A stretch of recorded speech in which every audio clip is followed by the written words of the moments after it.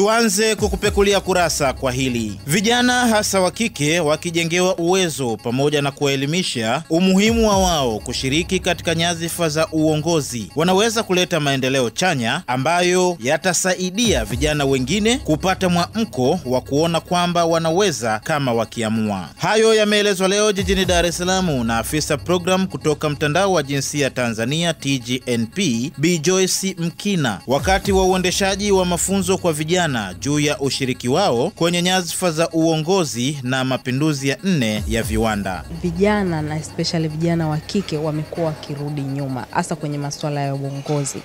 Tunaona kwamba uwepo wao kwenye nyanja za uongozi kunaweza kukawapelekea wao ku, ku, kuweka hoja zao, kuweka ajenda zao mbele na kuzungumza yale masuala yanayowahusu na yakaweza kutekelezwa kisera zaidi, na hapo ndo tunaona kuna umuhimu mkubwa sana vijana kushiriki kwenye masuala ya uongozi.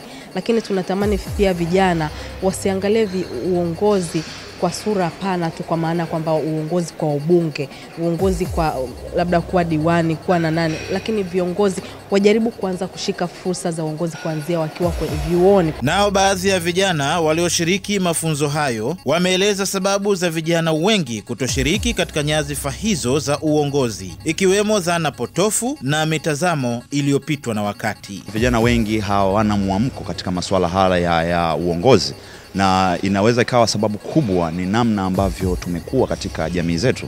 Katika jamii zetu tumekuwa tukiona mara nyingi kwamba viongozi wengi ni watu ambao umri umesha kwenda kidogo, wanakuwa na busara na uwezo mkubwa wa kutuongoza.